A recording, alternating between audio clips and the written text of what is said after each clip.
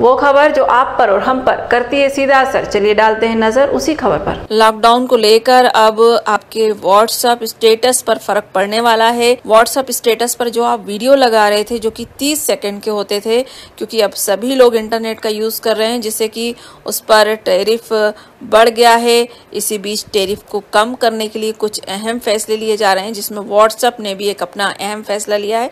उसने फैसला लिया है कि जो भी नई अपडेट्स हैं जो भी पूरी तरह से व्हाट्सअप को यूज़ कर रहे हैं वो अब थर्टी सेकेंड का वीडियो नहीं लगा पाएँगे।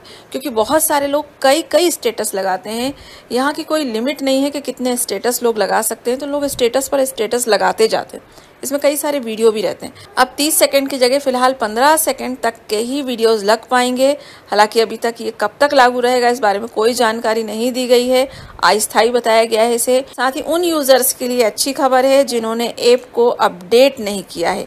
उन पर पुराना ही नियम लागू होगा क्योंकि उन्होंने अपडेट नहीं किया है तो जिसके चलते वो 30 सेकंड तक के वीडियोस स्टेटस पर लगा सकते हैं। लेकिन व्हाट्सअप ने ये कदम सभी की भलाई के लिए उठाया है, जिस तरह इसका टेरिफ हो रहा है, जिस तरह से लोगों को इंटरनेट पर परेशानी हो रही है, लोग वर्क फ्रॉम होम कर रहे हैं, काफ़ी सारी जानकारियाँ इसी से ले रहे हैं।